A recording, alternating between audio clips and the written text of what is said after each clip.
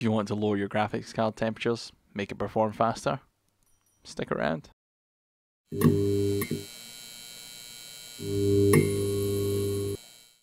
Today I'm going to be water cooling the GTX 1080 from MSI. It's the Aero Edition card with a blower style cooler and I'm going to be installing a Kraken G12 cooler from NZXT, or bracket rather, followed on by a Corsair H110 dual rad 280mm water cooler.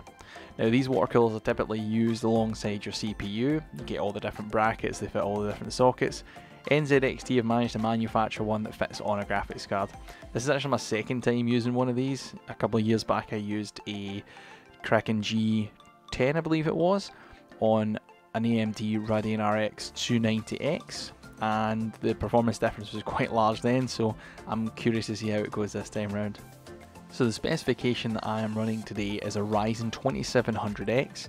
It does have Precision Boost Overdrive enabled and it is running in between 4.1 and 4.2 GHz. It does have an aftermarket cooler on there which is the Be Quiet Dark Rock 4, not the Pro Edition, just the standard. The Pro Edition wouldn't fit in my case unfortunately, which is a Phanteks P300 which was an absolute nightmare to install this AIO in, but we'll get to that later. The memory is a little bit on the slow side, but it is Corsair LPX DDR4 2400 MHz. I haven't even attempted to overclock that at all yet, so we'll maybe tackle that later too. And the graphics card itself is an MSI GTX 1080 Aero. And this is a blow style card, and unfortunately, the issues I'm having with it is hitting its thermal limit and it's starting to downclock the card when I'm playing games or even doing standard testing for benchmarks. So installing the NZXT Kraken G12 bracket. So this video isn't going to be a tutorial on how to achieve that, but as you can see here, all I'm going to do is really remove the stock cooler that was on there, that horrible, horrible blow style cooler. I'm going to clean off the old thermal paste, pop on some new stuff, I'm then going to reattach the G12 bracket and I'm going to pop on the Corsair H110. Now it was a little bit tight fitting in my case and unfortunately I had to put the tubing for it at the bottom rather than the top which is a little bit more unconventional but because it's an AIO unit positioning shouldn't really matter that much.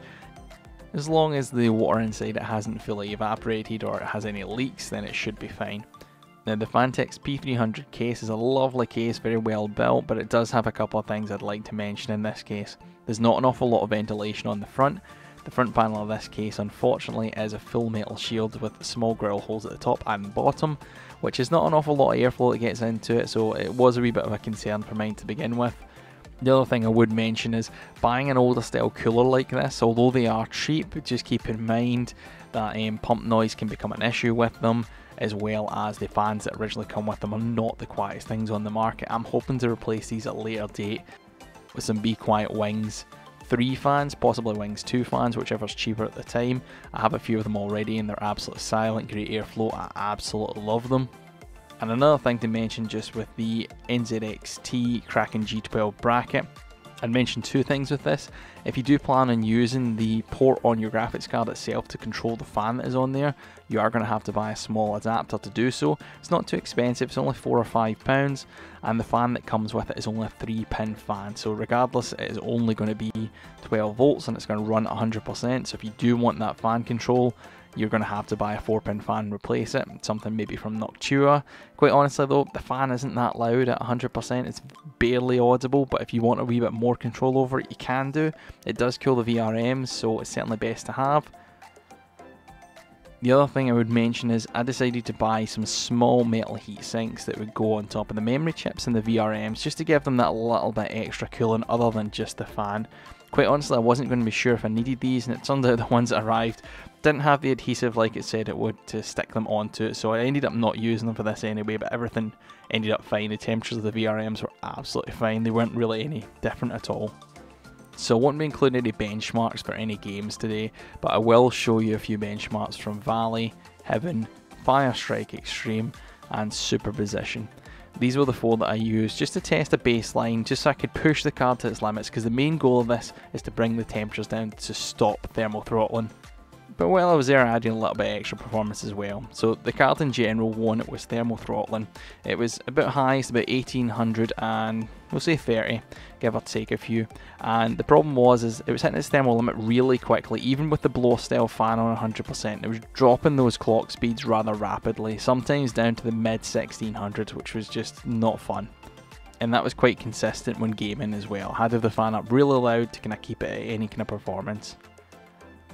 Now the goal with using the NZXT bracket alongside a Corsair water cooler was just to bring those temperatures down enough that the card would at least stay stable at its clocks in between 18 and 1900 and the end result ended up being much much more impressive. So I'm going to start off with the temperatures here and as you can see it speaks for itself. In the highest case it was a 48% increase in cooling and decrease in temperature and at lowest point it was 36% and that is quite a difference. So the card no longer hit 80 to 90 degrees. At maximum it was hitting was 51 and at its lowest point when during the benchmark was 47 which is rather impressive. Now that wasn't as stock either. I did set the clock speed on the card to just above 2 GHz which it held stably throughout every single benchmark zero artifacting and the card never crashed or anything like that. It didn't thermal throttle which is exactly what I was going for.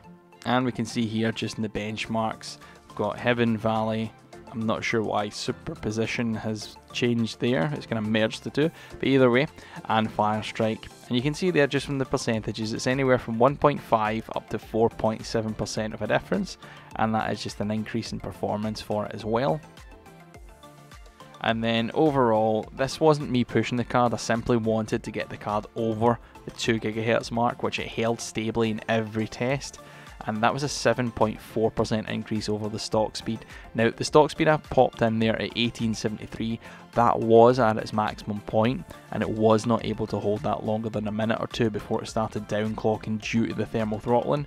So that was never something that was achieved for a long period of time. The 2012 that I popped there, which is megahertz, that was sustained and it did that through every test. It never dropped once. It was rather impressive. It probably could go a bit higher, but I'm quite happy with the fact that it's got a 7.4% increase in performance just from switching the cooler. So was it worth it to water cool my GTX 1080? Totally. This card was only a slight upgrade for me. I came from a GTX 1070 SC edition, and quite honestly, from what I sold my 1070 for and what I bought the 1080 for, there's maybe a tenner of a difference, so it didn't really cost me anything. The main kind of price here came from the bracket and the cooler, which again were picked up relatively cheap, £25 for the bracket brand new, and then I was, I believe, 40 for the cooler but in general you had a couple of small bits that came extra with that that you don't kind of think about. So I had to buy some Noctua paste which wasn't massively expensive and I bought some thermal pads for the small heat sinks which we ended up not using. Um, again they weren't relatively expensive either and it kind of put the full total of this card and water cooling it in the ballpark of close to about 280 to 290 pounds which sounds quite high but going online, checking benchmarks, looking at comparisons, it was a case of either buying a GTX 260 Super 270 or buying the RX 5700 XT. I'm not sure there's even an RX in there, but um, this card compares really, really well to all of them. And in general, for me, playing most of my games at 1080p, it'll be absolutely fine. And the occasional 4K on the TV, I'm happy to drop a few settings just for it to be playable. Um, so more than more than happy with the card and very impressed with the performance. Again, I'm going to change out those fans, make them a bit more quieter. I do have a custom fan curve set on all of them from the CPU. The one for the pump is on 100%, and I've got the fan curve on the two on the front for the Corsair fans, which are terrible. Switch those out for some wings that make it nice and silent, and reckon it'll improve the performance and possibly even even modify the case. Maybe do that in another video. Yeah, we could totally cut some holes in that. What I'm thinking is do like maybe a big square at the front and then maybe put a mesh drill behind it and then put some fan mesh, just little magnets in the back of it, just to catch any kind of dust and things. Um, but solid case. But that's all. Thanks for watching. If this video helped or you've got any questions on the Kraken G12, it is compatible with a whole bunch of graphics cards, NVIDIA and AMD. But thanks for watching. Don't forget to like and subscribe. Do you want to make your graphics card perform faster? No.